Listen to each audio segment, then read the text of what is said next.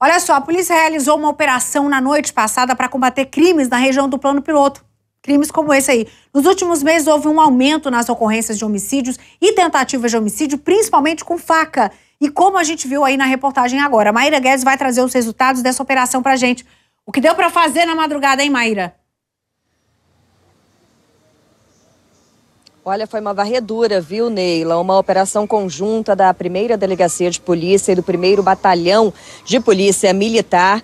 São a, a batalhão, é um batalhão e uma delegacia que ficam na Asa Sul e eles fizeram essa operação durante a noite justamente para tirar de circulação armas e drogas. Isso porque, como você mencionou, nos últimos meses houve um aumento na quantidade de homicídios e de tentativas de homicídios envolvendo moradores de ruas e, de acordo com a polícia, muitas vezes por disputa ali de territórios e também disputa por venda de drogas. Então a polícia fez essa operação para tirar de circulação essas armas, essas drogas. Não foi uma operação pontual, viu, Neila? De acordo com a polícia, essa operação ela vai continuar em vários pontos que já foram mapeados e, claro, né, os locais, o dia e o horário dessa operação não serão divulgados justamente para não atrapalhar, mas é uma operação conjunta para acabar com esses crimes.